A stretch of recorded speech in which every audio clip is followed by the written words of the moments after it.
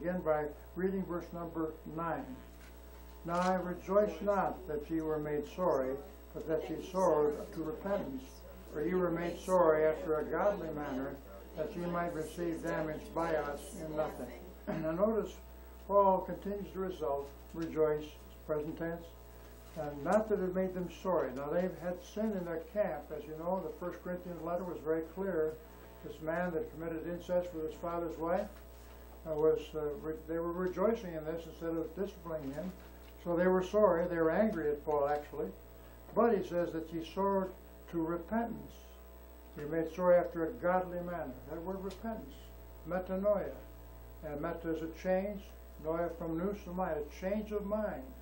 That's what's needed before a person could be saved, before a person could be a genuine Christian. They must change their mind at least about two things. Number one, change their mind about that they're sinners. Many people in this world, they don't think they're sinners. No, I'm just as good as anybody else. I want to go to heaven. I do good works. I come to church. I give some money. Or I do this or I do that. They got to change their mind about that. God calls every one of us sinners, lost, bound for hell. We must change our mind concerning sin. The second thing people have to change their mind about is the Lord Jesus Christ died for our sins, died for the sins of the whole world on the cross of Calvary. And people say, well, I don't believe that. He just died. He was a martyr, something else. No. If you don't change your mind about why Christ died, you're lost. He died for your sins, for my sins. Change the mind. That's repentance. And the third thing, you must then accept and receive and trust and believe on the Lord Jesus Christ as your Savior. Those three items are necessary. But Paul says, uh, I didn't make you sorry, but you sorrowed to repentance. You're married, made sorry after a godly manner, that you might receive damage by us and nothing. They backed down finally. They finally changed their mind, and they said, all right, we shouldn't have this man, this godless man, in our church. We'll kick him out till he repents and changes his mind and changes his attitude, which he did. And then they brought him back. There's various verses on repentance, a number of verses.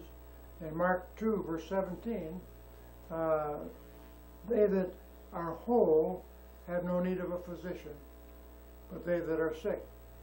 I came not to call the righteous, but sinners to repentance. If a person thinks he or she is whole and well, who needs a physician? Well, some physicians are not very good anyway, but who needs a physician? You, that's why repentance is necessary. You have to realize you're sick, you're a sinner, you're lost, you're bound for hell. Repentance is needful. In Luke 3 and verse 8, John the Baptist said, Bring forth fruits worthy of repentance. They say, Well, repented, change their mind, but the fruits are not there. It's, they're phony repentances. There are a lot of phony repentances as well. And then uh, Luke 24, verse 47 and that repentance and remission of sin should be preached in his name among all nations, beginning at Jerusalem. Repentance and remission of sins preached. In Acts 5 and verse 31, him hath God exalted with his right hand, speaking of the Lord Jesus Christ, to be a prince and a savior, for to give repentance to Israel and forgiveness of sins. They had to change their mind regarding their Messiah and realize that it is he and trust in him as their savior and redeemer. Very important in Acts 11, verse 18. Uh, when they heard these things, they held their peace, glorified God, saying, Thou, then God hath also, uh, God also to the Gentiles granted repentance unto life. The Jews at first didn't think that the Gentiles should have anything to do with the, the message, but God did grant to the Gentiles, some of the Gentiles that accepted him, repentance unto life. In Acts 20, verse 21, testifying both to the Jews and also the Greeks, repentance toward God and faith toward our Lord Jesus Christ. Repentance and faith. Change our mind regarding God and faith in our Savior. Then in 2 Timothy 2, in verse 25, in meekness instructing those that oppose themselves, if God peradventure will give them repentance to the knowledge of the truth. Uh, a lot of times we don't agree with truth. We don't want to accept the truth. But God says, I want to give them the change of mind, of repentance, and acknowledging truth. The scriptures are true, but people don't believe the scriptures, many of them, and they don't understand what is there. Then in 2 Peter 3, verse 9, we know this one, let's say it together. The Lord is not slack concerning his promise, that some men count slackness, but is long suffering to usward, not willing that any should perish, but that all should come to repentance. Now this is contrary to the hyper Calvinist heresy. The hyper Calvinist heresy says God does not want all people to come to repentance and change their mind regarding Christ and come to salvation. They say that's foolishness, that's folly. Where'd you get that in the Bible? We got it right here in this verse, very simple. They say God only wants the elect, a certain little group that He picked out a long time ago to be saved. The rest of us lost. Christ didn't die for you. He didn't do anything for you. You can't be saved. That's the foolishness, the heresy of the hyper-Calvinist message. And that's going in Presbyterian churches and various other churches all over the world. It's growing and growing and growing. Uh, at Dallas Theological Seminary, my school, uh, we used to have a four-point Calvinist position, not a five-point. Dr. Chafer never believed that beginning L, the limited atonement. He was always for unlimited atonement. Christ died for the sins of the whole world. But uh, now I think Dallas has got some people in there that believe in the whole five points. And so every one of these seminaries is teaching this fallacious doctrine that Christ just died for a certain group. No, he died. He's not willing that any should perish, but that all should come to repentance. He's not willing, but he's not going to force people to come to the Lord Jesus Christ by faith either. He's not willing. Doesn't mean everybody's going to be saved. Everybody's going to be, come to repentance and change their mind and be a Christian. But he's not willing. It's up to us. God made the first move when he sent his son from heaven to this earth. And he made the second move when the son died for the sins of the world on the cross of Calvary. Now it is your move and my move to accept this Savior as our own and be saved, become a Christian. Let's read verse number 10 together. For godly sorrow worketh repentance to salvation, not to be repented of, but the sorrow of the world worketh death. Sorrow is mentioned here. All of us have some type of sorrow or another. Uh, physical sorrow, spiritual sorrow, various different times, but it says godly sorrow. There's a, there's a godly sorrow that God helps us with, and there's eight results of this godly sorrow. We have it in this paper that we gave you. The first result is repentance to salvation. Sorrow, many times, when people are sorrowful, they can come to the Lord Jesus Christ and be saved. It works many times through salvation, trusting in the Lord. They're weak, they're sick, and they want to trust someone that's strong. The Lord Jesus Christ is their Savior, not to be repented of, uh, but the sorrow of the world worketh death. Just the worldly type of sorrow, not a godly sorrow, just a sorrow because of the things of this world. Death comes. As far as sorrow, and there are various scriptures that have to do with that. For instance, in John 16 and verse 6, the Lord Jesus told his disciples, Because I have said these things unto you, he told them he's going to leave, told them he's going to be crucified, goes to be on the cross of Calvary, then raised at three days and three nights. Because I told these things, sorrow hath filled your heart. They were sorry. They were sorry. And then in John 16, verse 20, the Lord Jesus again told his apostles, Verily I say unto you, that ye shall weep and lament, because he is crucified on the cross. These apostles did weep and lament. But the world shall rejoice. This wicked world is so glad that the Lord Jesus Christ was crucified. The world of that day and the world of today, they don't care about Christ. They just say, wonderful, get him out of here. As the Jews urged the the Romans to crucify him, the world shall rejoice, and ye shall be sorrowful, your apostles. But the Lord Jesus told his apostles, your sorrow shall be turned into joy. When he's raised from the dead, bodily raised, and they see the Lord and meet him, and your sorrow shall be turned into joy. It's a great promise that he told them before he died. In 2 Corinthians 2 and verse 7, Contrariwise, you ought rather to forgive him, talking about a person this incestuous man, and comfort him, lest perhaps such a one should be swallowed up with overmuch sorrow. Now, he committed a great sin. Kick him out of your church, yes, but comfort him, lest he be swallowed up with overmuch sorrow. And then get him back into your church once he repents and changes his mind concerning his sin. And they did this, and he changed his mind and they brought him back in 1 Thessalonians 4, verse 13. Paul said to the church at Thessalonica, But I would not that you should be ignorant, brethren, concerning them which are asleep. That is, those who have died, those Christian believers that have died. Don't be ignorant concerning that. That ye sorrow not, even as others that have no hope. Now there's a sorrow that's Christian sorrow, a godly sorrow when our loved one who's a Christian, genuine Christian dies. That's a godly sorrow. We miss them. We'd rather like to see them. My wife's dad and mom, we saw her after their death. Her sister, both sisters, we saw her after that. But it's a different situation when they're saved. Godly sorrow is different, not as ones that have no hope.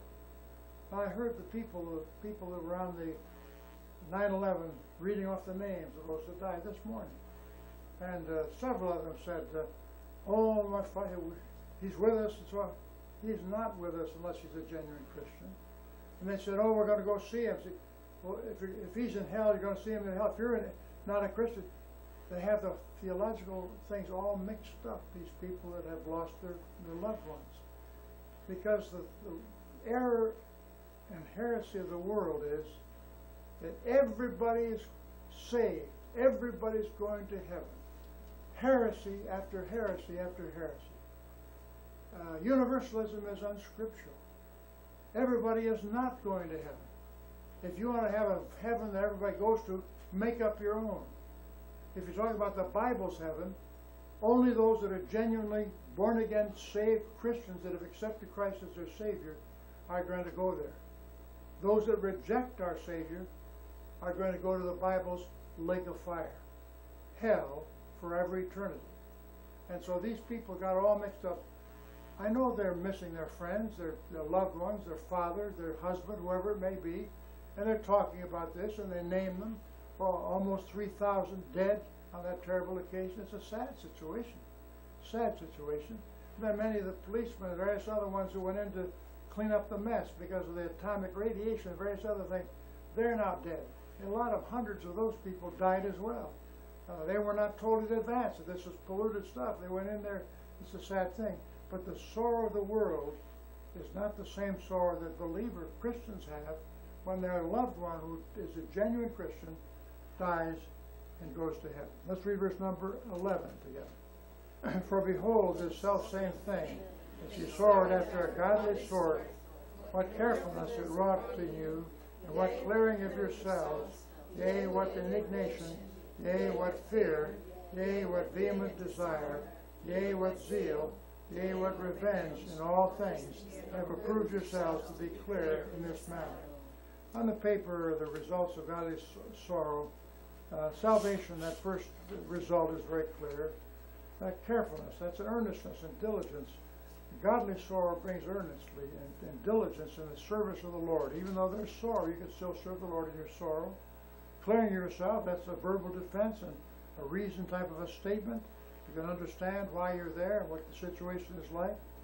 Uh, the indignation, the irritation. Yes, sorrow brings irritation. It brings uh, that indignation. Uh, the fear, possibly referring to the fear of the Lord. Very important that we fear the Lord and, and serve Him even in our sorrow, whatever the sorrow might be. Vehement desire, longing uh, for the Lord again. Uh, vehement desire for the Lord, zeal, fervent in spirit, serving the Lord, not giving up because there's sorrow. Revenge against maybe being falsely accused. Some of these things are, are clear. Some of the verses of Scripture on carefulness, for example, in Ezekiel 12, verse 18. Son of man, eat thy bread with quaking, and drink thy water with trembling and with carefulness. Carefulness. Now they shall eat their bread with carefulness and drink their water with astonishment. So sometimes carefulness and earnestness is a difficult situation. The clearing of themselves, defense or argument, indignation. Some of the scriptures on indignation in Isaiah 66 and verse 14. Uh, you see, your heart shall rejoice, your bones shall flourish like a herb. The hand of the Lord shall be known toward his servants, and his indignation toward his enemies. Uh, God has indignation toward his enemies, and sorrow can have indignation uh, also can bring earnestness and diligence in that sense. And then at Jeremiah 15, verse 17, this word is used. Uh, Jeremiah says, I sat not in the assembly of the mockers. A lot of people in Jeremiah's day were mocking against the Lord, against all the problems that they had. And he says, I sat alone. And many of us who stand for the Word of God, like Jeremiah, stand and sit alone because of thy hand, for thou hast filled me with indignation. Indignation against the sin or the wickedness of the people that were carrying on. And Jeremiah was trying to be a faithful prophet. In Nahum chapter 1 and verse 6, who can stand before his indignation? Another verse on that. And as far as the fear, the godly sword bringing fear, the fear of the Lord is mentioned many places. In Psalm 111 verse 10, the fear of the Lord is the beginning of wisdom. The fear of the Lord, in other words, respect him and flee to him. Uh, then in Proverbs 8 and verse 13, the fear of the Lord is to hate evil, pride, and arrogancy, and the evil way, and the froward mouth do I hate. And then Proverbs 14, verse 27, the fear of the Lord is a fountain of life, to depart from the snares of death. The fear of the Lord, trusting Him and respecting Him. In Proverbs 16 verse 6, by mercy and truth iniquity is purged, but by the fear of the Lord men depart from evil. To get away from evil if they're trusting in the Lord and fearing the Lord. And then the, this vehement desire, longing for the Lord. Vehement desire. In Jonah 4 and verse 8, uh, it came to pass when the sun did arise that God prepared a vehement east wind, a very strong east wind. The sun beat upon the head of Jonah, but he fainted. Then in Second Chronicles 15, verse 15, uh, all Judah rejoiced at the oath, for they had, had, had sworn with all their heart and sought him with their whole desire. Fortunately, there were some that did seek the Lord with their whole desire. And he was found of them, and the Lord gave them rest round about. That whole desire, that vehement desire, was used of these Christian, these Jews rather, that sought the Lord in Second Chronicles. Then in Second Chronicles 7 and verse 7, uh, not by his coming only, but by the consolation wherewith he was comforted in you, when he told us your earnest desire, your mourning, your fervent mind toward me. So in 2 Corinthians, Paul said, the Corinthians had their earnest desire toward the Lord, your mourning. And then in Philippians 1 and verse 23, uh, Paul in jail, a Roman dungeon, when he wrote the book of Philippians, he said, I am in a strait, a tight place, betwixt two things. We know this one, let's say this one. Having a desire to depart and to be with Christ, which is far better. Desire, strong desire to be with Christ. He'd been with Christ, he knew where Christ was. Uh, he was stoned in Acts chapter 14 and at Lystra, and I think he was taken to heaven. For a time he saw all the glories of heaven. He knew what the Lord Jesus was like, and he has a strong desire to be with Christ, which is far better. And he knew it was far better. But the Lord said, No, Paul, you're not finished yet. He brought him right back to this earth, revived him. He got up and started preaching the Lord. But he knew that heaven was far better than this earth. Interesting. Strong desire. In 1 Peter 2 and verse 2, we know this one. I'll say that one. As newborn babes, desire the sincere milk of the word, that ye may grow thereby. Strong desire, being desire. Sorrow is results in godly desire to, to seek the word of the Lord, to, to grow thereby. Well, seven things, zeal, uh, it's used 16 times in Scripture, but some of the verses in Isaiah 9 and verse 7. Strong desire, fervent in our spirit. Uh, the increase of his government and peace there shall be no end. On the throne of, of David, upon the kingdom, in order to establish it with judgment and justice from henceforth even forever.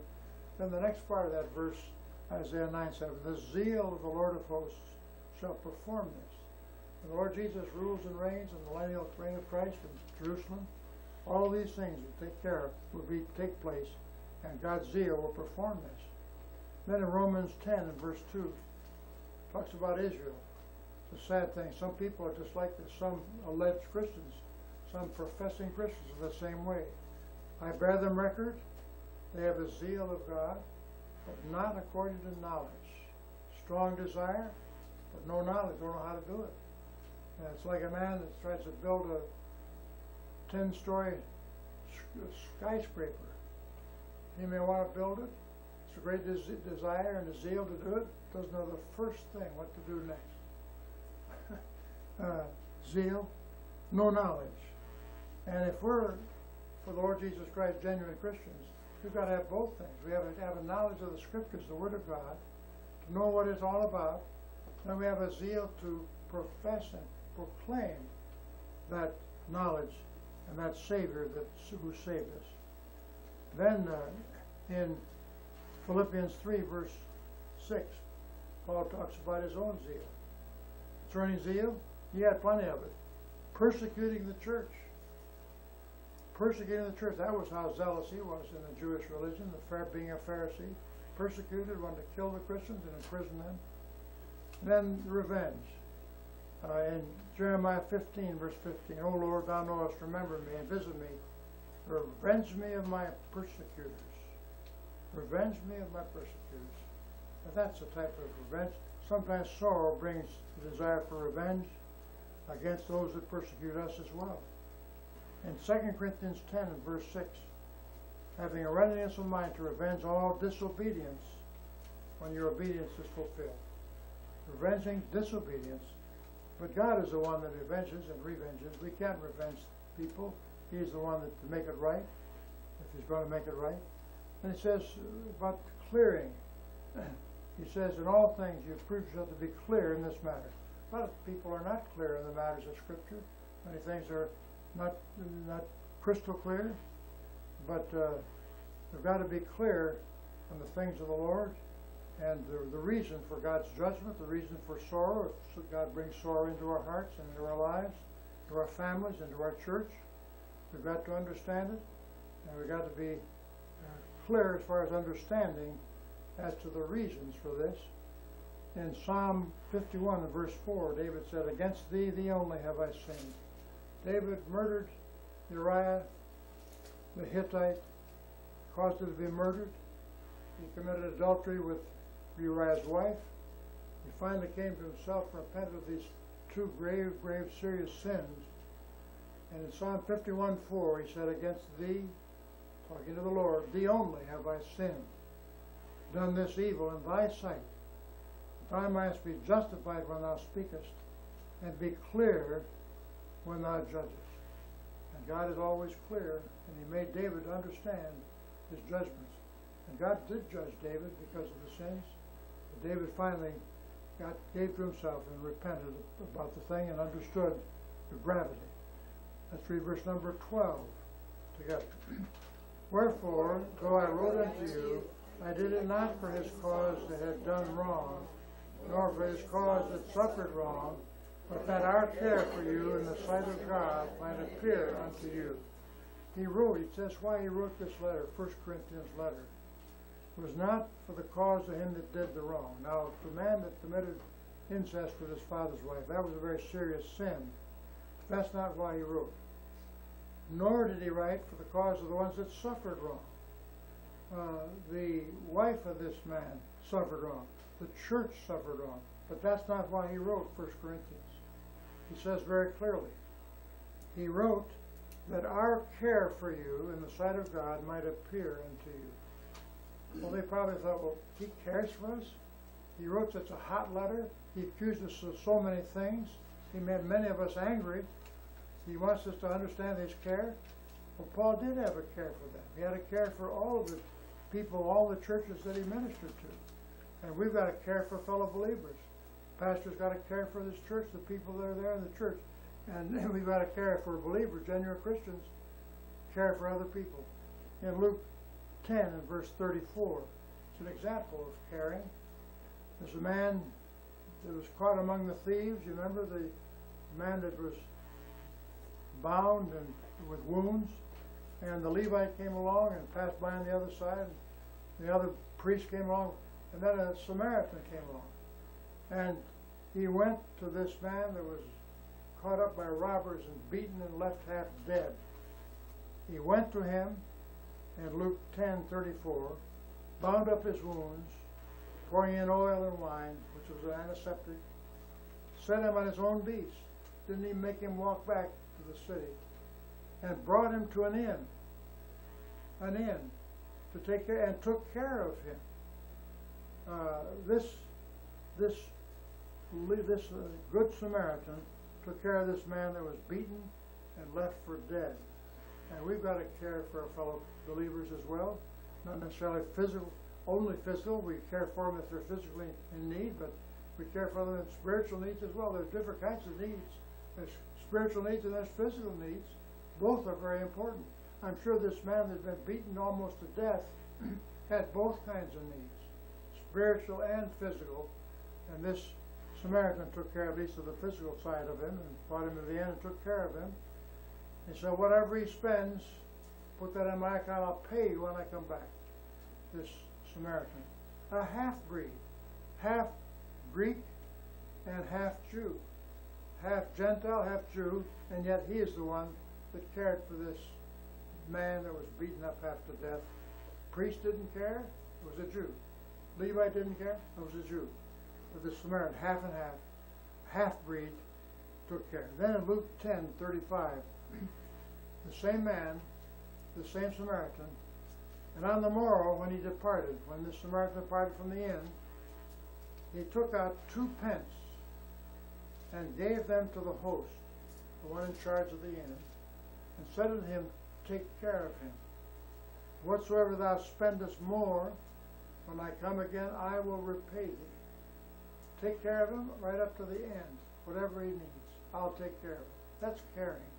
You've Got to care completely for people, spirit, soul, and body as well. Then in 1 Corinthians 12, in verse 25, Paul talks about the divisions that they had of the Corinthian church, the schisms, the different scrapes that one different had against one another, uh, that there should be no schism in the body. He says, I don't want a division and schism, that the members should have the same care one for another. Those that are members of the body of Christ in that church at Corinth, the same care one for another. And so in our church, we should care one for another and have some care and the same care. Then in 2 Corinthians 8 and verse 16, Thanks be to God, which put the same earnest care into the heart of Titus for you.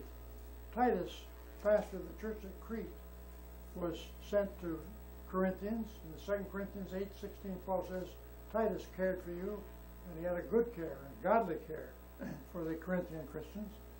And also in 2 Corinthians chapter 11, verse 28, Paul talked about all the things that came to him, all the difficulties, all the beatings, and all the different things, the shipwrecks. They added the final thing that was a, a trouble to him. He said, beside those things, all the things that he listed, terrible things that are without, that which cometh upon me daily, the care of all the churches. Those are cares from within, the Christian believers, cares within. He had to care for the church at Ephesus, church at Colossae, church at Philippi, at Philemon, all these different churches, or even Thessalonica, all the churches, the care of the churches. That was not easy. As you know, people in churches are not always happy campers. They're not always happy campers. Some of them are very seriously sick, sorrowful, grumpy, complaining, and various other things. so Paul says, I've got a lot of care for these churches. And Corinthians are one of the, certainly the church of Corinth is one of the most uh, complaining churches of, of all of them. If you read that, those 15 chapters in Corinthians, the care of the churches. That's in addition to the beatings and shipwrecks and all the other things. Then Philippians 2 and verse 20. he talks about uh, Philemon. Talk to Philemon. He says, I have no man like-minded who will naturally care for your state. This man that would care to help this man who was fleeing from his owner, uh, Onesimus, fleeing for the owner, and a man that came along and would care for this runaway slave. Then in 1 Peter 5, 7, we know this one, let's say this one together. Casting all your care upon him, for he careth for you. All our care. There are two senses of the word care. And this casting your care, that means you're worried, all your concerns. For he careth for you. He's concerned for you. So it's a different sense of caring. casting your care, your concern, all the difficulties, the problems. The Lord Jesus cares and wants to comfort you and look after you. That's the second sense of the verb to care. Let's read verse number 13 together. Therefore we were comforted in your comfort, yea, and exceedingly more growingly for the joy of Titus, because his spirit refreshed by you all. Paul says, we were comforted when you're comforted. When the Corinthians got this second letter, they were comforted in it. They were upset in the first letter, but they were comforted here, and because they were comforted, that comforted his heart. The one that wrote the letter says, I was comforted. And then exceedingly the more we joyed, there was joy in addition to comfort, for the joy of Titus.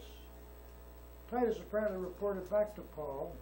Titus, the pastor of the church at Crete, he reported back to Paul what he saw at Corinth and how they were comforted in various details. And then it says, we were joyful because of Titus, because his spirit was refreshed by you all. The Christians at Corinth refreshed the spirit of Titus, who was there. In the first letter of Corinthians, the church was a mess.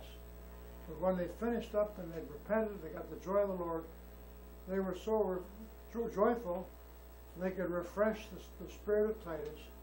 And he was a joyful, Paul was very happy, exceedingly joyful, because Titus was very happy at his being refreshed by you.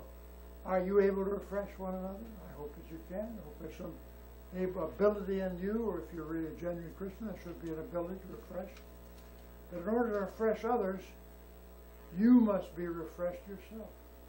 You can't give what you don't have. It's impossible. If you're gloomy, you reflect the gloom. If you're refreshing, you maybe can refresh others. Who knows? As far as comfort, there's a number of verses on comfort, but in 2 Corinthians 1, 3, and 4, perhaps we know this one. Blessed be God, even the Father of our Lord Jesus Christ, Father of mercies, and the God of all comfort, who comforteth us in all our tribulation, that we might be able to comfort them which are in any trouble by the comfort wherewith we ourselves are comforted of God. Four times comfort in verse number four. And if we have comfort, we can comfort others.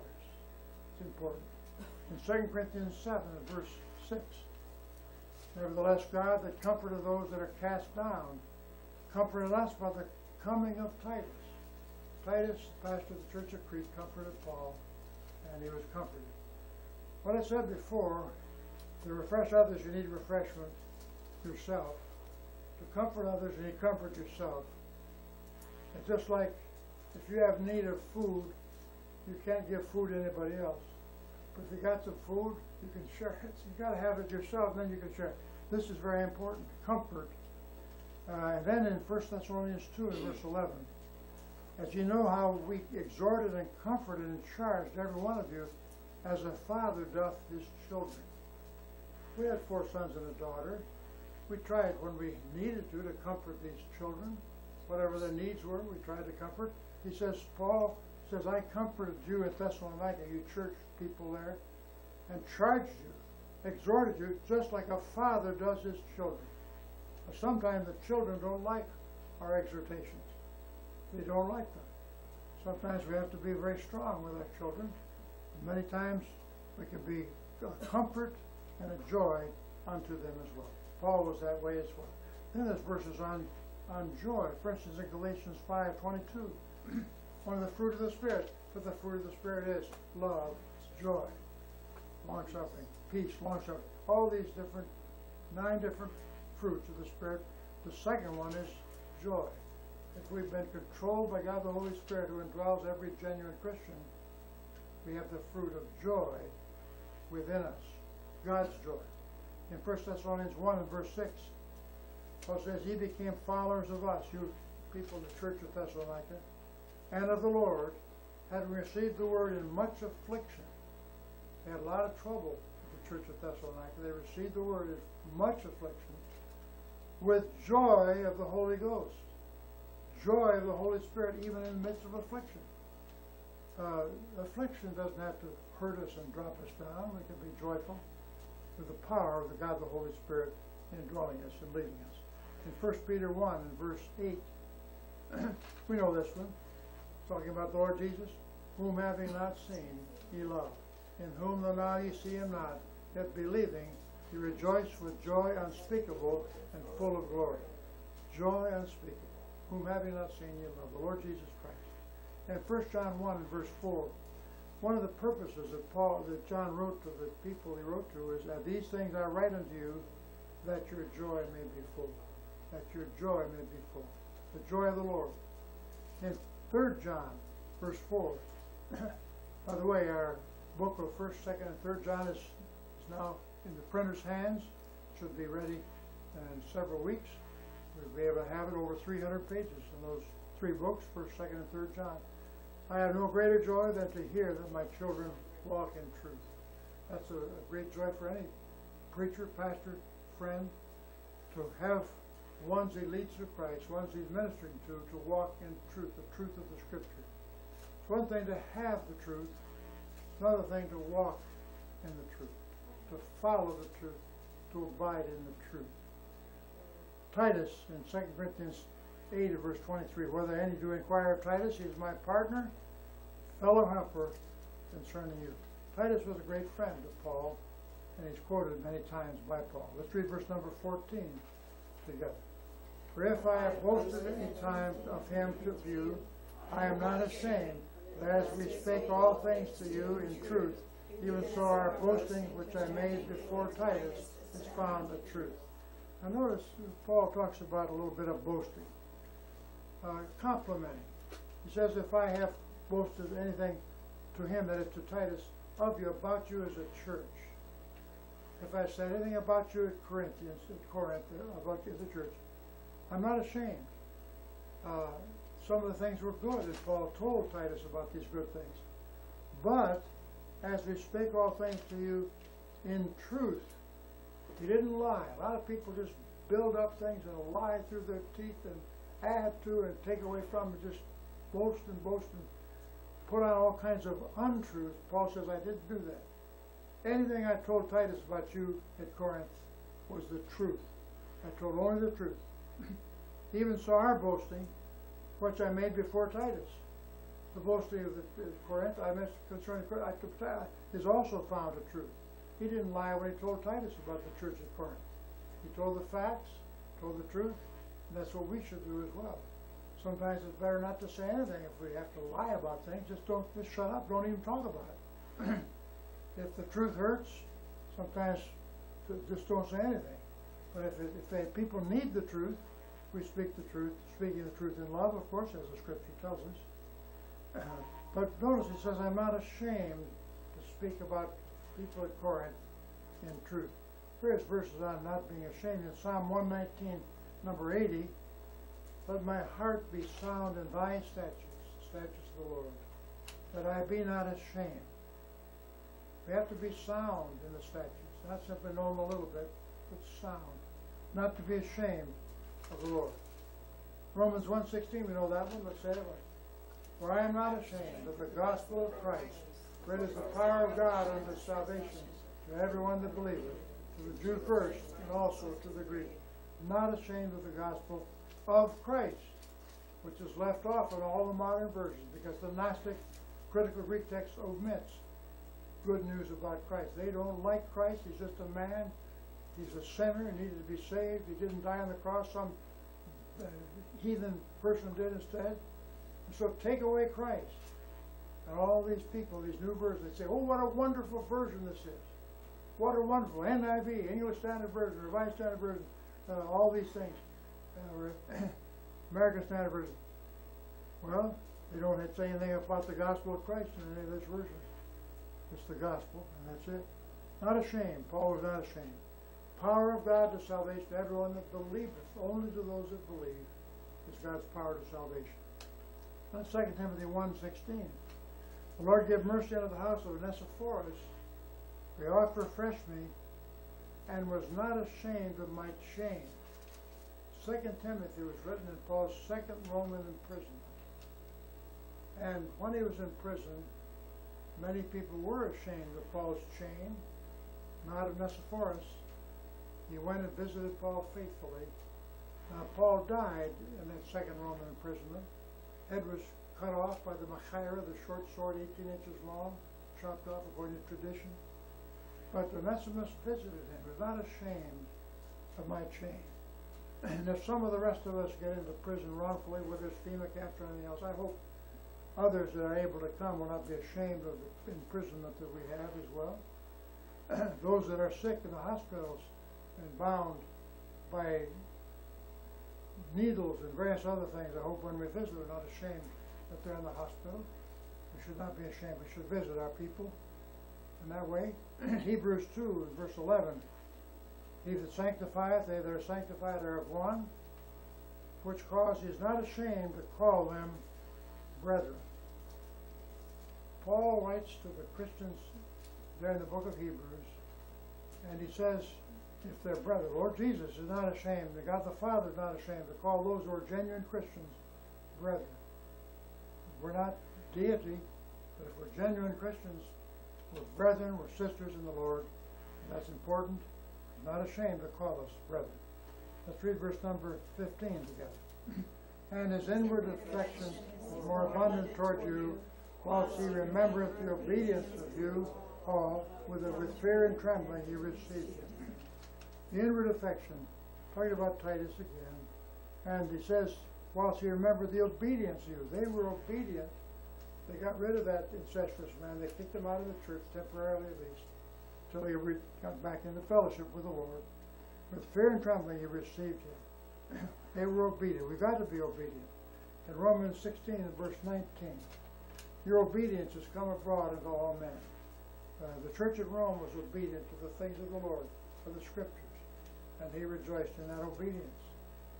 In 2 Corinthians 10 and verse 5, this is an important obedience. I quoted this verse to one of the students at Dallas Theological Seminary. and said, Where'd you get that verse?